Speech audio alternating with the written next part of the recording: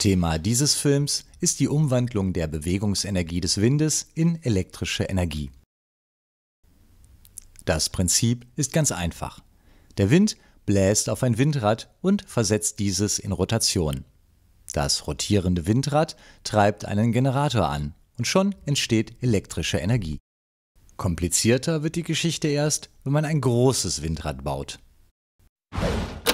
Ab hier sehen Sie den Film im Schnelldurchlauf.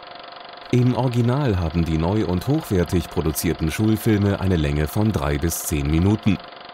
Die wichtigsten Aspekte jedes Themas werden speziell für den Einsatz im modernen Schulunterricht anschaulich aufbereitet.